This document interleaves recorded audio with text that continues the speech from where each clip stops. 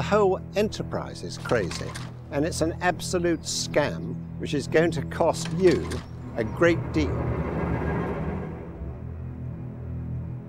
It's rather like paying monkeys, because what happens is the civil servants draw up the list, and if it's vote number 58 and the piece of paper says vote yes, you vote yes, and if it's number 59 and it says vote no, you vote no. It is an absolute farce. It is a complete sham masquerading as democracy.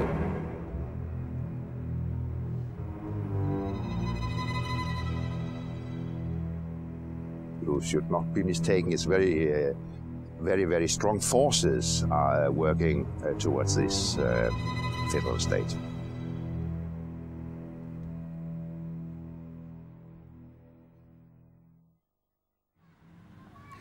This is the village of Goudhurst. It's been said that if Kent is the Garden of England, then Goudhurst is the Garden of Kent. The English way of life has gone on here for centuries. But is all that about to become a thing of the past? In 1996, chairman of the British Referendum Party, Sir James Goldsmith, circulated copies of a short film documentary to millions of households across the country. Frustrated by the lack of mainstream press coverage over what he saw as the dismantling of British sovereignty and independence by colluding politicians, Sir James's wake-up call to the people of Great Britain was stark and shocked many. What you're about to hear will both surprise and outrage you. It's the true story of Europe. It's the story the politicians don't want you to hear, because it shows how they've deceived us and betrayed our nation. Only in 1994 did Chancellor Kohl's foreign policy spokesman, speaking on behalf of the ruling party of Europe's dominant nation, Germany, clearly reveal the true plan. The plan is to create a federal European superstate. Into it will be merged up to 25 ancient European nations, including our own. This new country, called Europe, will have one parliament, one government, one court of justice, one currency, one flag, and one anthem. That has been the plan all along. But those who favoured it knew the people of Europe would never accept it. They would never willingly surrender their freedoms to become just a province in a vast European superstate. So what did the politicians do? They conspired to keep the truth from the people. So what is the truth behind the European Union? Is it, as our politicians keep telling us, Britain's best hope for the future? A chance to regain some of that lost prestige on the world stage by being at the centre of Europe? Today in Britain, all three major political parties miraculously appear to agree at least on one thing. They believe in the destruction of Great Britain as an independent nation. They believe an integrated Europe makes sense that it is the modern, forward-thinking way to go, that it would prevent any chance of a third European war. Unfortunately, nothing could be further from the truth. The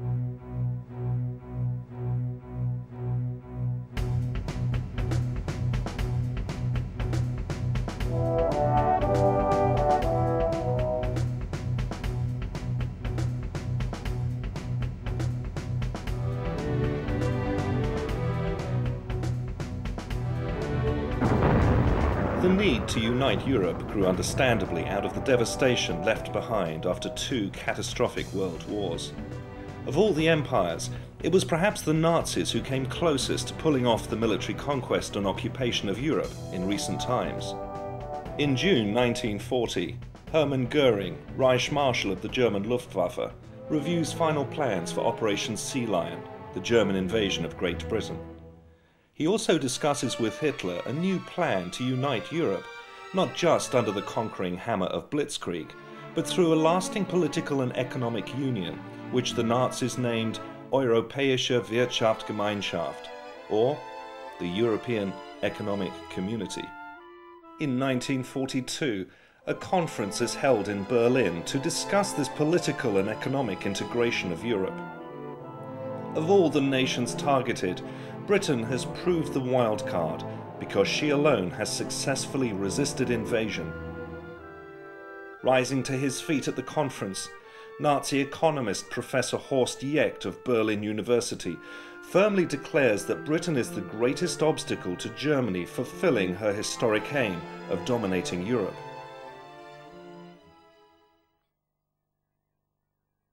Winston Churchill also believed Britain had an incompatible destiny with that of the continent. Referring to the United Kingdom's reliance on her overseas trade, Churchill stated, If Britain must choose between Europe and the open sea, we will choose the sea.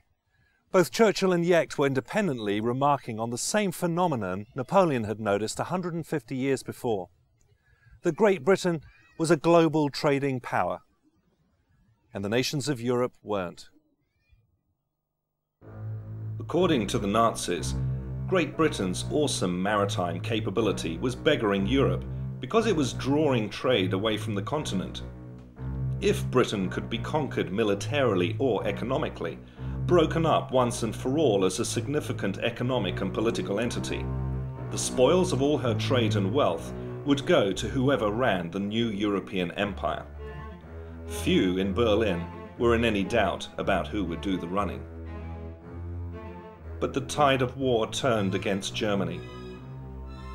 In 1944, a meeting was held at the Hotel Rothers House in Strasbourg between officials of the Nazi government and German industrialists. The theme of the meeting was How will Germany dominate the peace when she loses the war? Following the end of World War II, the rebuilding of Europe, and Germany in particular, became a pressing necessity and was largely funded under the Marshall Plan by the United States. Both Washington and London saw the rapid stabilization of the continent after the war as essential in order to prevent any incursion into Western Europe by the new enemy to be feared, the Soviet Union. Winston Churchill agreed that some form of commonwealth of nations in Europe was desirable for establishing stability and a lasting peace but he never envisioned Britain as being part of any future United States of Europe. Winston Churchill's view of Great Britain's relationship with Europe after the Second World War is summarized with these words of his. But we have our own dream and our own task. We are with Europe, but not of it. We are linked but not comprised. We are interested and associated but not absorbed. The Allied answer to military stability in Europe was to be the North Atlantic Treaty Organization, or NATO, which came into existence in 1949 as a permanent defense alliance for Europe. The European Union officially began life as the European Coal and Steel Community in 1951, a modest industrial cooperation between France, Germany, Italy, Belgium, Luxembourg and Holland. Six years later, in 1957, the Treaty of Rome was signed by the six participating coal and steel community nations. Declaring its goal as the ever closer union of the peoples of Europe, the Treaty of Rome went far beyond launching just a common market. It established the fledgling apparatus for an idealistic new superpower. This new entity was given an existing and unsettlingly familiar name the European Economic Community. In 1963, Charles de Gaulle and Konrad Adenauer signed the Treaty of Elysee signifying the symbolic burying of the hatchet between France and Germany. This was the start of a dynamic new dual leadership role in Europe for the two countries. De Gaulle later resigned and within a year was dead. Britain was invited to submit yet another application to join the EEC. This time, Edward Heath, now as Britain's Conservative Prime Minister, signed the Treaty of Rome and took Britain into the common market on New Year's Day 1973. Responding to deep concerns within his own country that joining the EEC would compromise Britain's national sovereignty and independence, Heath sought to reassure the British people in a government white paper. He wrote, There is no question of Britain losing essential national sovereignty. The master plan, of course, was well known to Edward Heath, Lord Hailsham, and their colleagues in Brussels. It was the eventual creation of a new European superstate out of 25 existing nations in Europe and Scandinavia, and Britain was going to be part of it. From 1973 onwards, the slow but consistent transfer of power from Westminster to Brussels through successive treaties our own politicians signed became known as the acquis communautaire. It was nicknamed the Ratchet for once powers had been given to Brussels by the member state, they could never be returned. Initially, I thought, like everybody else, that uh, we had joined a common market and what could be nicer and more friendly and sensible and economically wise to do. But since then, in 1975, when we had the vote to remain in that, so we were told, um, it's become one or two things further than just a common market. It then became, a few years later, a European economic community, then a European community. It's now the European Union with all sorts of controls and restrictions, regulations, and we're fast approaching via this new constitution something that the French have already named potentially a United States of Europe. And I'm not at all sure that that's what I and many others voted to join back in 1975. Say in 75 we signed up for a social trade trade agreement and we've let, it's the people who've let the government, successive governments, um, vote, gradually vote away our democratic rights. Um, this government has no right to sign us up to the constitution without the will of the people. But we need the will of the people to stop it. It's no use coming down in five years' time, we're signed up to it, we can't get out of it, and the people say, well, we don't want it. It's up to the people of the day to say no.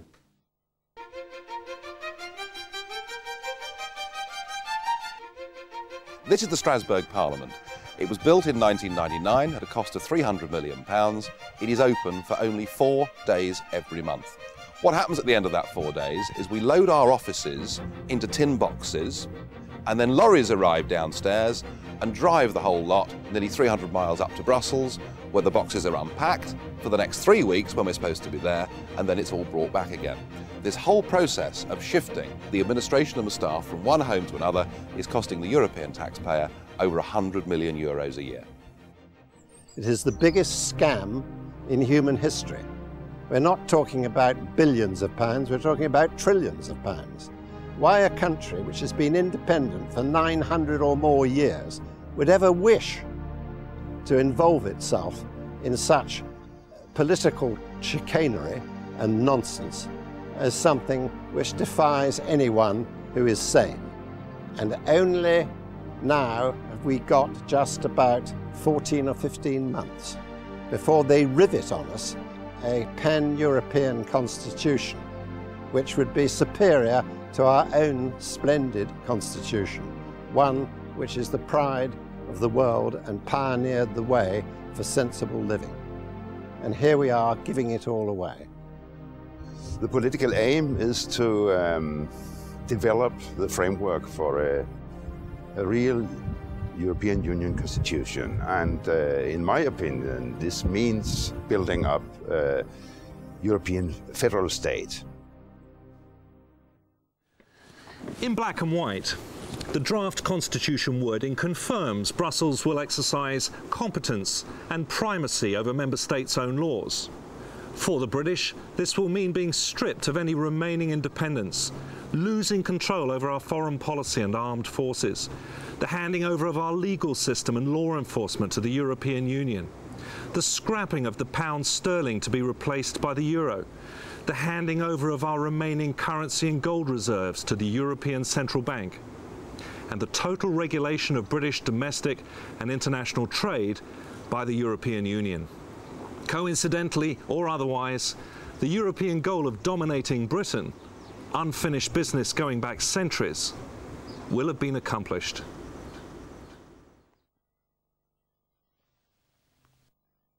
Most have already noticed that the job of running Britain is increasingly being carried out in Brussels not by British politicians, but by unaccountable foreign committees most in this country have never even heard of, let alone voted into power. These unelected, inscrutable forums dictate what citizens across the Eurozone can and can't do, down to the last detail. Henceforth, Britain is to be ruled from the new Europe, by the new Europe, and for the benefit of the new Europe. The powers driving this new superstate have always been, indeed as they are today, France and Germany.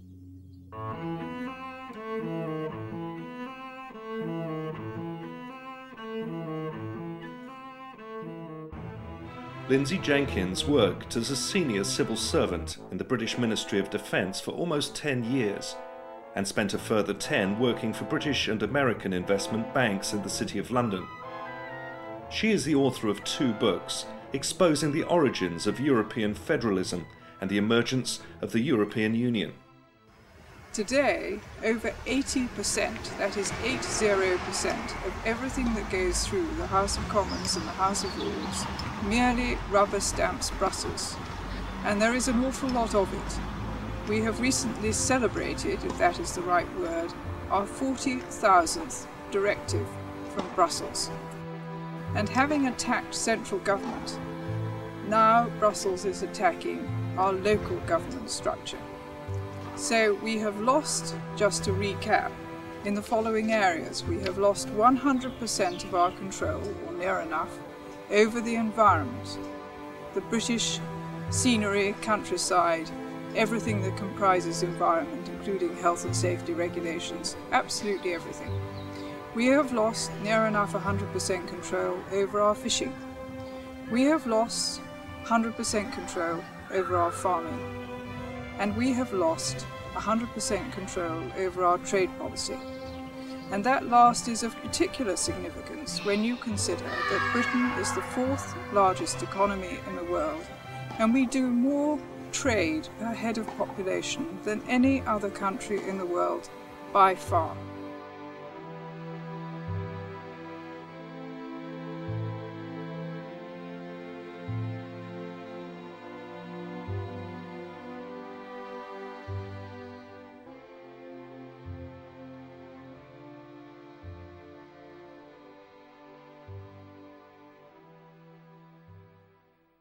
For many in this country, the first experience they have had with the European Union, apart from VAT, came when they tried to protest new legislation introduced to limit the amount and availability of vitamins, herbs, and alternative remedies people will be able to purchase and use in the future.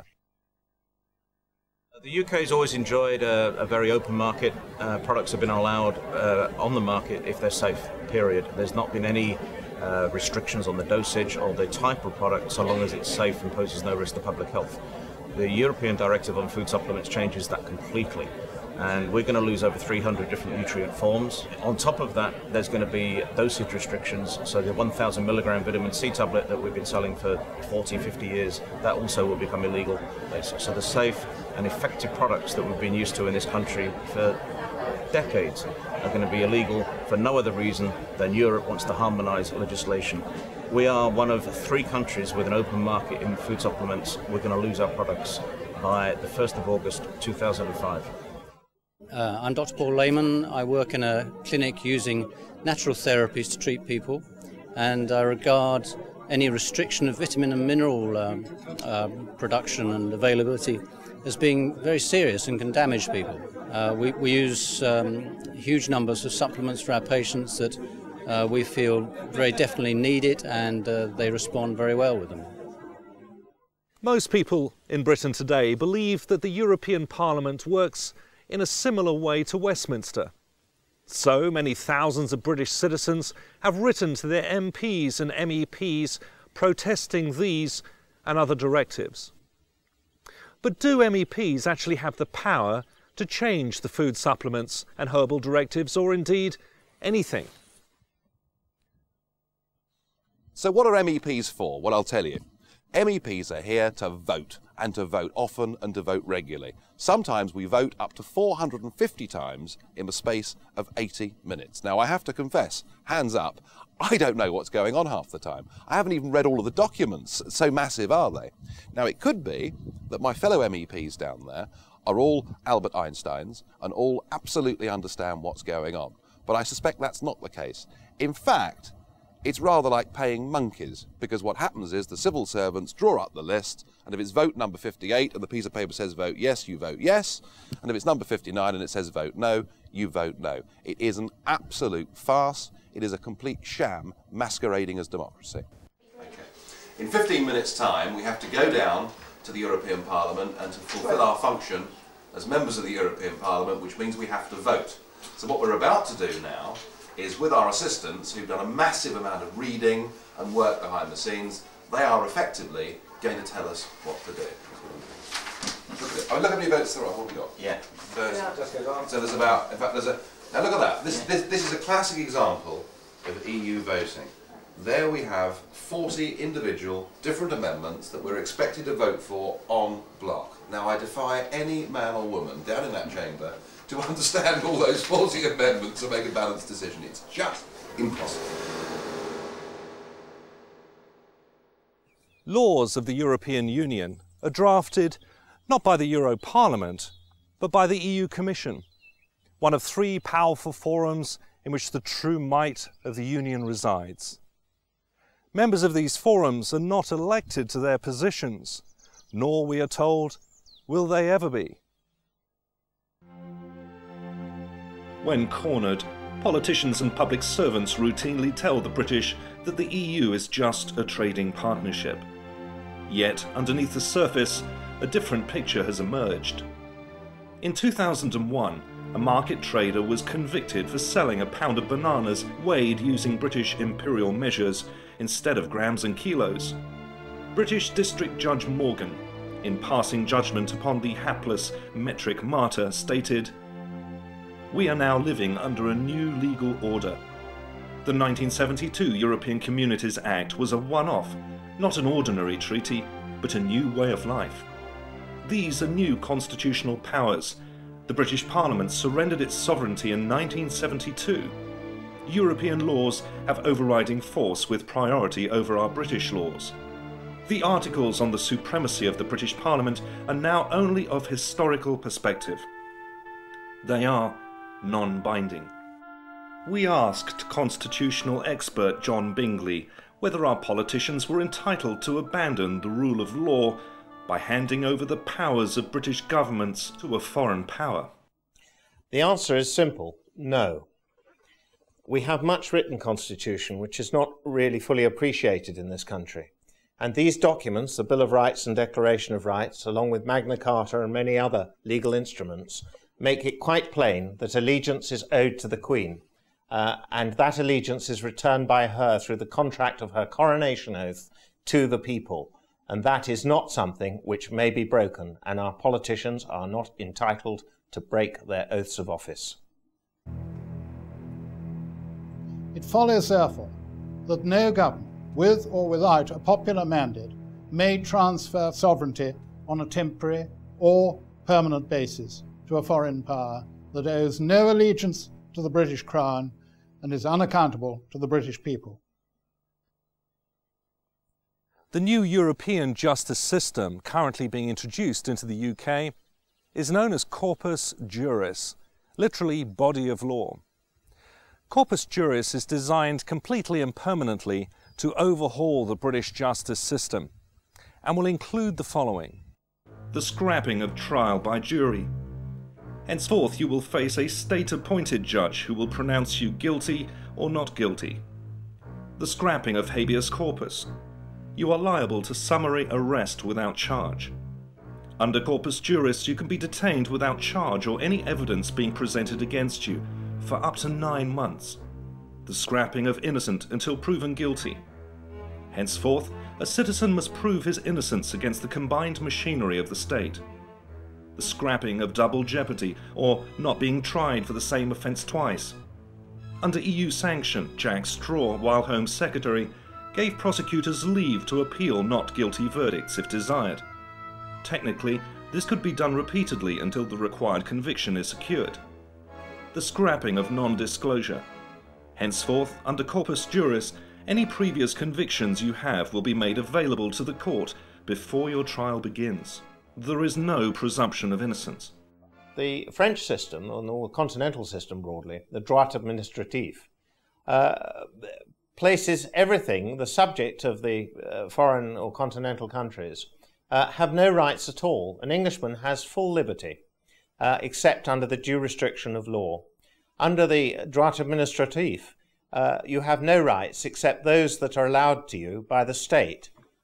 This fundamental difference is very important because it's now leading, uh, with the takeover of the EU situation, we are now leading to a state whereby we too will come under the droit administratif.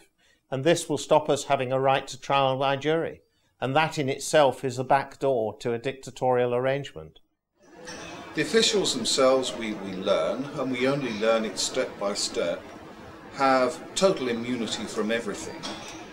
Uh, that is, from the criminal law throughout the member states. They seem to have extraordinary powers, but as again, as I say, nobody knows quite what. Then, gradually, incrementally, they acquire extra powers. They acquire powers to look at terrorism. What they are precisely, we're not quite sure. They also have powers to look at fraud. What they are, we're not quite sure.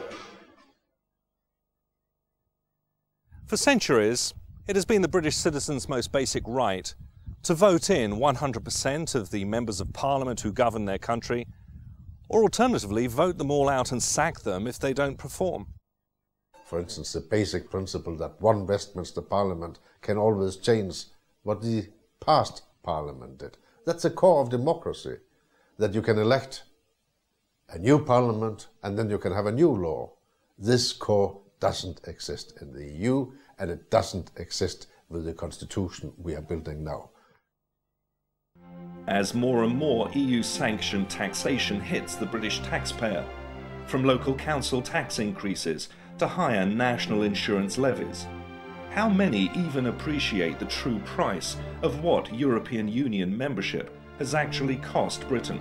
People don't realise that the cost to Britain is 1.3 million pounds per hour, every hour, every day, every year. And the way that figure will go is upwards, not downwards. We every year give them a nice big fat Christmas cake, costing billions of pounds, and they decide how many crumbs they're going to give us back.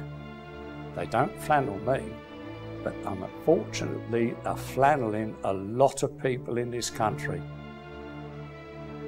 The Europeans have far higher levels of taxation. There'll be VAT, can you believe it, on food. There'll be VAT on house purchase. There'll be VAT on public transport. There'll be VAT on children's clothing. There'll be VAT on funerals. There's no limit to the greed of the bureaucrat. And the other point, of course, is the sheer financial point that this place is thick with institutional corruption. You could now buy a cheap airline ticket to come to Strasbourg for about £45 return. When you get here, you're reimbursed nearly £800 for the cost of that flight. Now, this has been going on for the last 20 years, and of course, what's happened is that our members of the European Parliament simply haven't been talking about it. The system is fraudulent, it's rotten to the core. The EU's pilfering of airline expenses and the extravagant waste of taxpayers' money on schmoozing and boozing MEPs into compliance is, of course, serious enough. But there's a lot more. There's the endemic corruption that has existed at the heart of the Union from the outset. The whole thing is corrupt to the core. The scale of the corruption, the figure given in the House of Lords Committee was that it was 6,000 million pounds worth of corruption in a single year. Their accounts haven't been signed off for the last eight years. Why would anyone wish to be governed by something which is utterly corrupt? It is beyond belief. And I think, quite honestly, all these MEPs in Brussels, uh, we are going to have an awful job trying to break this down simply because they're on a cushy little number. And that has always been the problem with uh, not only the MEPs but our own government. They're too busy feathering their own nest. In 1998, a man called Paul van Buitenen, who worked in the European Commission, decided that fraud, waste, mismanagement, corruption, and nepotism had become so bad that no longer could he hold his peace, and he went public and became the first whistleblower. It turned out that, in fact, all of his claims were right, and the entire European Commission were forced to resign in disgrace. The president of that commission, Jacques Santer, is now here as a member of the European Parliament for Luxembourg. And Commissioner Kinnock, who was one of the 20 that had to resign, is now a vice president of the European Union and has been put in charge of sorting out fraud. Well, how well has he done? Well, there's now another whistleblower. Her name's Marta Andreasen. She went to Commissioner Kinnock. She said, Look, I'm sorry, Commissioner Kinnock, but I cannot sign off these accounts. You're using a cash based system. You're not using double entry bookkeeping, which incidentally was invented in the late 14th century. She said, I cannot sign off these accounts as being a true and accurate record of the EU's finances, and for her trouble, she's been suspended pending an investigation. Everybody talks about reforming fraud within the European Union. I think this whole system is so rotten that it's now unreformable. It means that you will be ruled for the first time by people you cannot sack. Why would anyone do that voluntarily? It's the politicians of all three major parties who are all hell-bent on ever closer union. Ever closer union, in fact, means ever closer strangulation.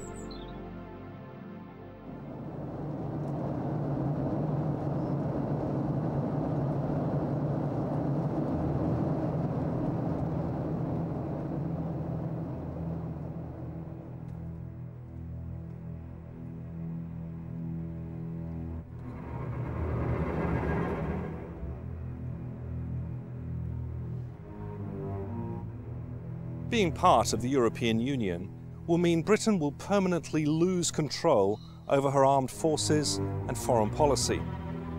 The new European army, so enthusiastically pushed by France and Germany, in effect threatens NATO, the organization that has kept peace in Europe for the past 50 years. They can use our armed forces, the Crown forces, the Army, the Navy and the Air Force in the European Rapid Reaction Force. And imagine our forces being under the command of some perhaps French or German general. And then there's the euro. Joining it will be irreversible, according to Hans Tietmeyer, former president of the German Bundesbank. Monetary union is a path of no return, he states. No subsequent revision or withdrawal of any kind is either legally or politically provided for. Britain's economy traditionally tracks that of the United States because of our heavy trading on the dollar. So, what would be the effect of joining the euro and tying Britain's economy into this one size fits all arrangement with the other nations of the EU? Brussels wanted to know too, which is why in October 1990 Britain joined something called the European Exchange Rate Mechanism, a dress rehearsal for the euro and monetary union, which effectively locked the British pound into other EU currencies. 23 months of chaos followed. British business suffered its worst recession in 60 years. 100,000 UK businesses went to the wall unemployment doubled from 1.5 to 3 million. More bankruptcies were filed than in any previous two year period ever. Repossessions of property increased sevenfold. By 1993, over half a million of us were at least three months in arrears on our mortgages. Britain lost estimated reserves of 68 billion sterling. And as someone once put it, you may be very friendly with your neighbours, but would you actually hand over complete control of your bank account to your friendly neighbours? Quite probably not. And that's precisely what we would be doing if we joined the euro. And if, if you're in Ireland or in Latvia, the euro is going to be great because you're having everything paid for. Unfortunately, it's by us. And I don't think we can afford or sustain that level of payment for that amount of time. If we joined the euro and the, the, the same thing happened to our, our economy as happened to Germany, we could all find ourselves struggling to pay our mortgages. There's been a great debate going on for the last five years about the supposed benefits of the single currency.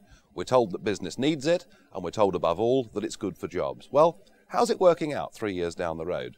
Well, in Germany, just two miles across the border, there are now 4.6 million people unemployed. They are experiencing exactly what we experienced during ERM back in the early 1990s. They cannot set their own interest rates to set their own economy. And the great risk of joining the euro is that you can finish up totally out of sync with the rest of the European economy, and there's nothing that your democratically elected government can do to alter it. There exists on the continent a massive unfunded pension debt run up by German, French and Italian politicians and it's been estimated at 1,300 billion pounds. And that would be something which we, the British people, would be expected to contribute. But how could Britain ever free herself from the European Union through military action if all her armed forces were under EU command? And in the unlikely event that she did regain her independence, how could Britain relaunch her own currency if she had handed all her gold and currency reserves over to the European Central Bank?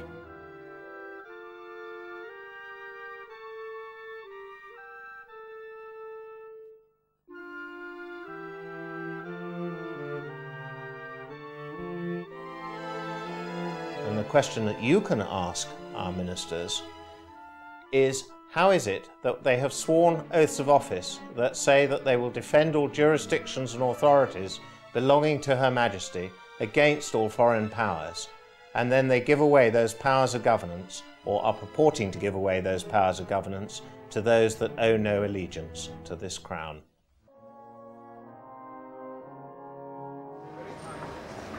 Well, today the European Parliament has voted on the admission of 10 new member states. I have to tell you that I was one of only 22 members of a House out of 626 that voted for those countries not to join. I did so not just because it would save the British taxpayer a great deal of money if they didn't join. I did it for their sakes because most of these countries have just left a system of centralised, undemocratic communist government based in Soviet Russia, and I fear they're about to re-enter a very similar system. But I must say this to you, that not everything about this European project is bad news, because the really good news is there's something we can do about it. If we want to, and all we need is the political will, a British Parliament at any moment in time can vote for us to have an amicable divorce from this corrupt club.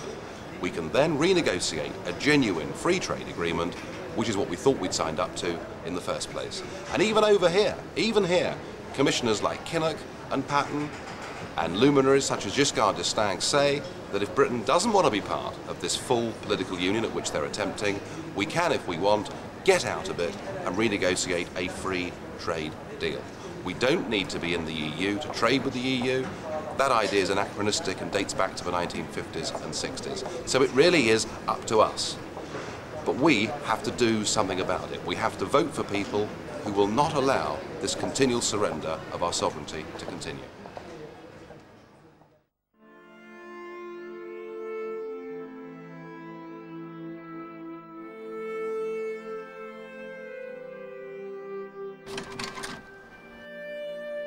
If we don't do something about it in the next couple of years, it's goodbye democracy and everything which we've fought for for centuries. Time is running out. I think Britain joining the EU contradicts the British Constitution and the common law. The Magna Carta, the Declaration of Rights and the Bill of Rights and the monarchy are undermined, and I see the danger of British people losing their rights and liberties by joining the EU.